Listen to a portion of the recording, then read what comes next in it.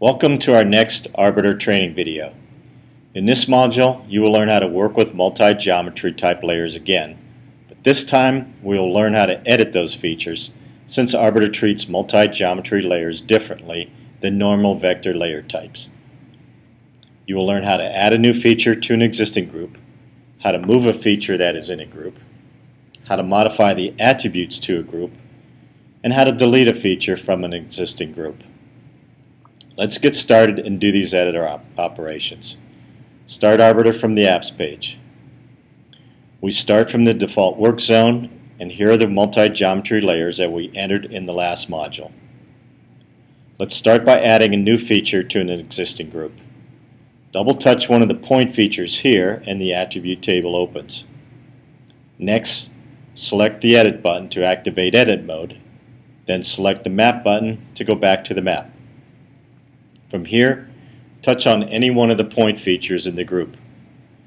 We see the multi-geometry icons appear on the left margin.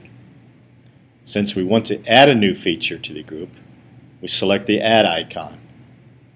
Touch the screen where the feature is to go, and there, it's added. If we want to add another feature, we would select the Add icon again.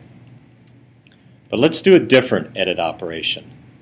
Let's go with the idea that one of these features was moved to a new location and we need to fix our data. We're still in edit mode, so all we have to do is touch the feature that is to be moved, then drag it to its new location. There. We just added a new feature and moved a different one. We're finished with our edits, so we'll select Done. The attribute table appears. Select Save to keep the changes and go back to the map.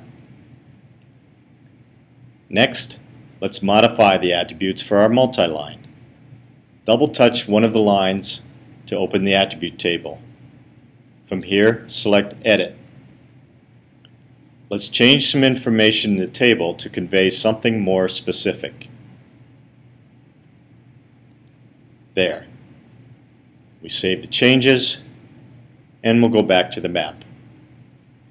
And to confirm that both line features are tied to the same attribute set, let's open the attribute table for the other line string. Double touch this line here. And we see that the attributes show the changes we just made. Let's select the back button and go back to our map. Next, we'll delete a feature from the group. Let's double touch one of the polygon features to open its attribute table. Again, select the Edit, then Map buttons. We'll touch this polygon here to select it, and we see the blue circles indicating that we can edit it now. Also, the two multi-geometry icons appear on the left. To delete a feature from the group, we select this delete icon here features deleted. But the operation is not complete. To continue the delete operation, we would have to select the Done button.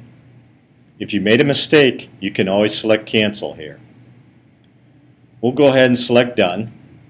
Arbiter returns to the attribute table, and we confirm the delete by selecting the Save button. Then we go back to the map, and our feature is removed from the set.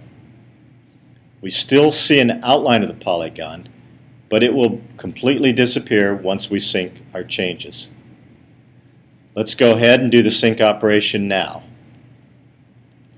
Arbiter uploads the changes back to the server, and there, our changes are updated. Okay, that's all we'll do in this module. We just learned how to edit multi-geometry layers. We added another feature to an existing group, moved a feature, modified the attributes to a group, and deleted a feature from a group. These operations will be important to your fieldwork when you work with multi-geometry type layers. Let's go ahead and close down Arbiter now.